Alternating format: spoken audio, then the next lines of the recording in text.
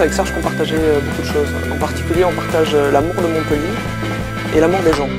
Et le département, c'est vraiment cet échelon qui permet euh, d'être au contact et au service des habitants.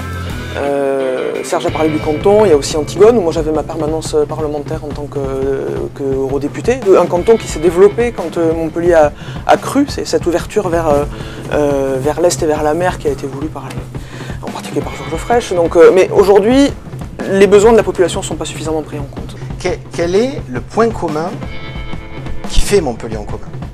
Ce point commun, c'est que la raison de notre engagement politique, c'est de défendre les habitants de Montpellier, c'est de défendre euh, ben, les, classes, euh, les classes moyennes, les classes populaires.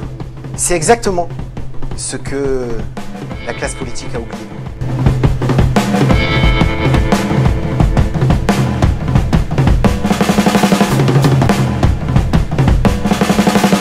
Oui, nous sommes les candidats de la gauche, mais surtout, euh, nous sommes les candidats du jeune, de la solidarité, des crèches pour les enfants, l'autonomie pour les personnes âgées, un collège, à proximité des collégiens, et puis un tram bus qui ramène tous les quartiers. Nous, on fait ce qu'on dit. Et ce qu'on dit, on le fait. C'est pas des promesses, c'est l'action.